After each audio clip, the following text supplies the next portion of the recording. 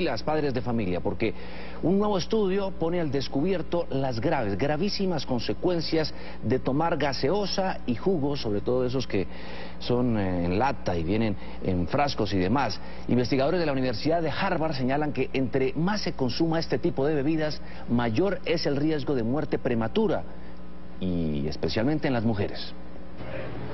Para calmar la sed, nada mejor que el agua, y así lo confirma un estudio de la Escuela de Salud Pública de la Universidad de Harvard, cuya investigación concluyó que el consumo frecuente de bebidas azucaradas como gaseosas, bebidas deportivas, energizantes y jugos está relacionado con un mayor riesgo de muerte prematura. Si uno toma cuatro bebidas azucaradas al día, aumenta drásticamente el riesgo de cáncer de seno, cáncer de colon y muertes por enfermedades cardíacas.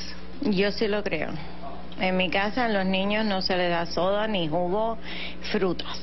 El estudio que analizó a 118 mil personas durante varias décadas encontró que el consumo de bebidas azucaradas aumentó el riesgo de muerte prematura por enfermedad cardiovascular en un 31% y por cáncer en un 18%. Lo que tenemos que hacer es suprimir estas bebidas. Si las vamos a tomar, no más de una o dos a la semana.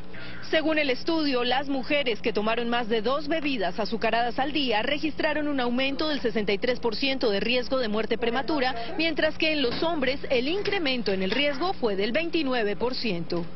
Especialistas aseguran que los resultados del estudio confirman una vez más lo perjudicial para la salud que resulta consumir bebidas azucaradas. Por eso recomiendan a las personas tomar más agua. Desde Miami, Judy Mora, Noticias Caracol.